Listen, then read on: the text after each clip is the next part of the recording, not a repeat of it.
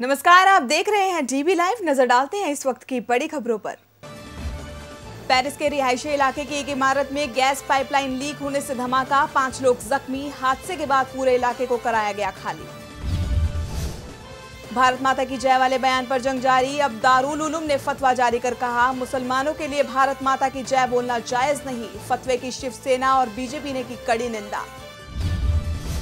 शनि चिंगनापुर मंदिर में महिलाओं के प्रवेश की लड़ाई पहुँची हाई कोर्ट महाराष्ट्र सरकार ने महिलाओं का किया समर्थन, कहा महिलाओं को रोकना लिंग भेदी, जल्द लाएँगे नया कानून। कोलकाता हादसे में फ्लाईओवर का निर्माण कर रही कंपनी ने किसी भी तरह की लापरवाही से किया इनकार। हादसे में गई है 24 लोगों की जान, पिचासी जख्मी। बीजेपी ने ममता सरकार को ठहराया जिम्मेदार। परमाणु सुरक्षा सम्मेलन में पीएम मोदी ने कहा, गुफा में नहीं, स्मार्टफ़ोन लेकर शहर में बैठे हैं आतंकी। दुनिया के सभी देशों से साथ मिलकर लड़ने की अपील भी की।